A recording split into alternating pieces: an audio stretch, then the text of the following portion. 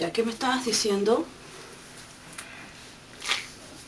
Que digo que lo de Pancho es absolutamente ridículo, porque no se trata de que diga un juez y nada, sino es una, una cuestión científica.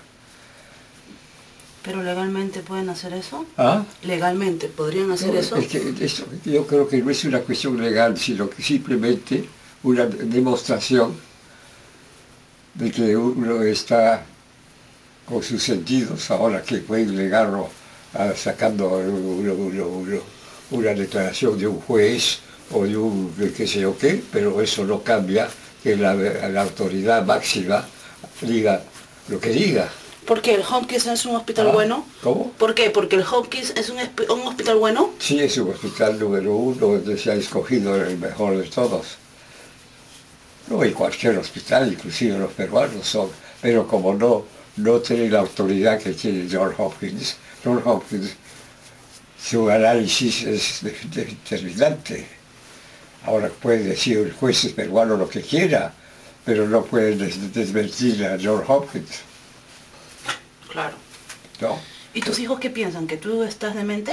No, pero lo utilizan la demencia para quitarme mis propi- propiedades a través de un procedimiento judicial.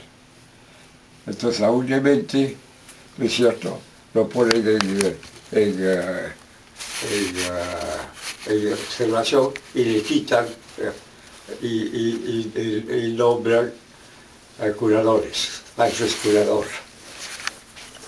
Curador, ¿por qué? porque soy un incapaz. Que diga lo que quiera el juez, pero hay una autoridad, de gran autoridad, que dice que soy, tengo el juicio sano.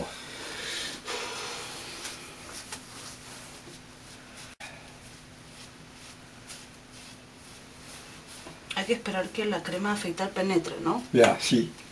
Anda contándome algo por Espe- mientras. Esperando un ratito. Ya. Nada, bueno, hemos conversado sobre esa cuestión de Pancho.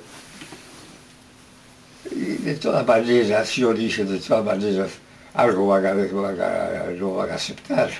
Lo que lo de John Hopkins no lo van a aceptar, pero para el público en general y para nosotros mismos, la, la certificación de John Hopkins de que estoy lúcido es muy importante. ¿Y fue fácil la... ¿ah? ¿Fue fácil el examen del John Hopkins? Lleva eso, ¿no? ¿Fue fácil lo que te dijo, los exámenes que te hizo el doctor? Sí, sí, fue una serie de exámenes y después me metieron en, en un tubo para ver cómo estaba mi estado eh, psíquico.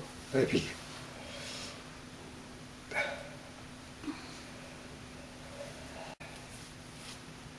De manera que en realidad no es una cosa definitiva, no es una cosa obligatoria, pero sí es la demostración a través de una autoridad máxima científica que tengo en este momento lucidez y que todo lo demás que están diciendo los abogados y los, y los jueces, que lo que digan los jueces no pueden ir contra lo que dice una- un, uh, un, uh, instituto científico como el John Hopkins. Pero la ley no es la ley.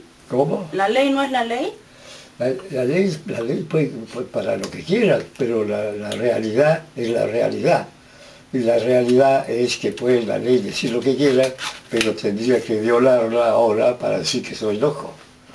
Ajá. Tiene que violarla, tiene que negarse a aceptar. Ahora, yo, yo me hago una pregunta. Sí. La pregunta que te hago es, ¿por qué no asistir a los peritos que ellos mandan?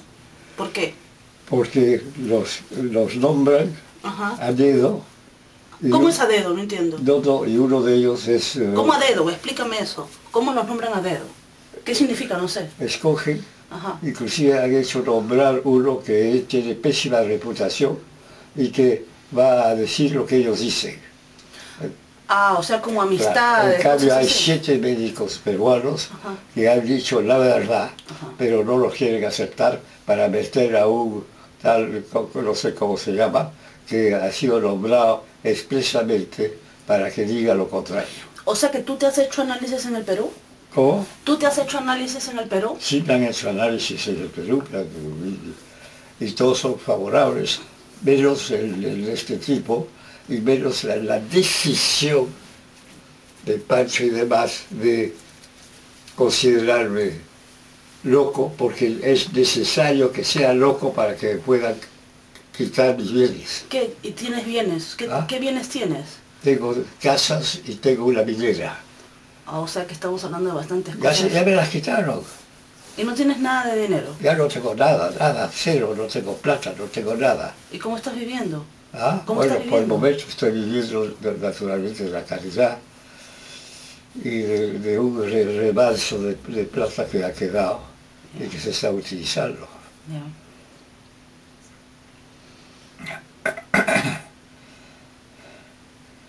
¿Tú qué quisieras hacer?